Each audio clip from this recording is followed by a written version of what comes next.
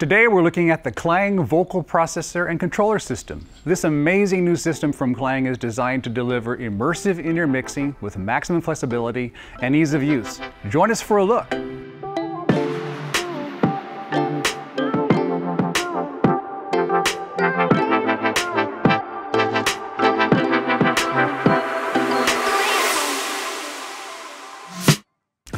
Hi, I'm Brian Roggow, video and audio designer at Paragon 360, and today we have Ryan Shelton back in the studio with us today representing Digico and Klang.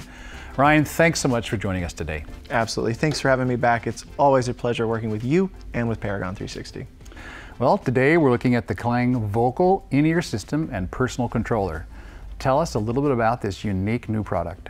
Unique is the right word. There is nothing quite like it in the market. There are many personal monitor mixing systems, but there are none that offer immersive processing or binaural processing for the musician.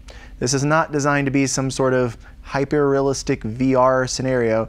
Uh, it is designed to provide natural sound to the musician.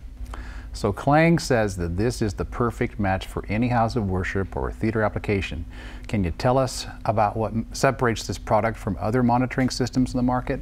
Absolutely. First is obviously the immersive processing, being able to take an instrument and place it anywhere around your head. So not just panning it left or right into your ears, but in front of you, or behind you, above you, or below you. Uh, it really opens up the canvas of where we can put sources um, just more space in the mix. So that's the first thing. The second thing is the software, uh, what you're going to run on an app or one of the controllers. Uh, it gives you every feature that a technical director is going to want at a church. So the ability to listen to any mix or help musicians out with their mixes, uh, as well as musicians being able to help other musicians. Things like EQ and snapshots and channel naming, uh, all of that is taken care of in a very efficient and uh, honestly just easy and fast way. I can see that being a big plus for lots of churches. It seems like this system could solve some big problems when it comes to personal mixing, and it offers features that are not available in any other type of in-ear system. Tell us about the processing that makes these types of innovations possible. The processing is actually using things like panning, so is it louder in your right ear than your left ear? Uh, things like delay and frequency-based delay. So time of arrival, it, it, arrives to your right ear before it does to your left, and things like frequency dependent delay also are different for different frequencies. So low frequencies, they arrive uh, simultaneously to both ears, or at least that's how the brain interprets them. Um, you also have things like the normal natural high frequency roll off that you would have when your head gets in the way of a source. Mm. So if we had um, a piano that was off to my right, my head would physically block the high frequencies from hitting my left ear. So all of that and some special sauce is put inside of the processor so your brain thinks that that sound source is outside of your head in that specific place that you place it. We recently looked at the Quantum 225 and discussed some of the integration that it and other Digico consoles offer with Klang. Does this Klang system offer the same integration that we're used to seeing in Digico ecosystems? Absolutely. So there's a couple ways to approach this. One, you can fully integrate it with a Digico console. So you can load a session on your console. It can uh, now trigger that uh, as well in the Klang system. Um, and what it actually does is it stores everything on the Digico and it's basically remote controlling the Klang. But things like channel names, uh, your mixes, as you select through mixes on your console, the Klang system follows it.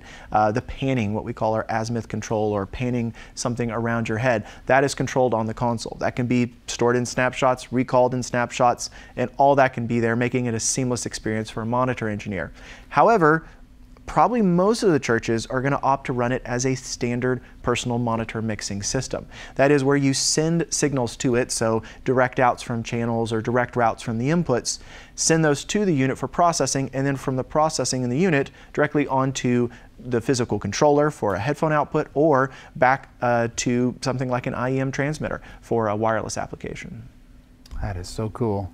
So given everything we've discussed so far, where do you see this product serving the best?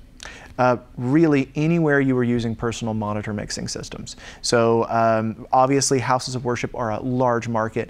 Uh, we have uh, production and touring bands that tour with them um, as well, but by far the, the largest market for personal monitor mixing systems is houses of worship. And really anywhere that you would be using these systems. So um, backline for um, a band right? So all the musicians and instruments that are kind of in a static position can use the controllers.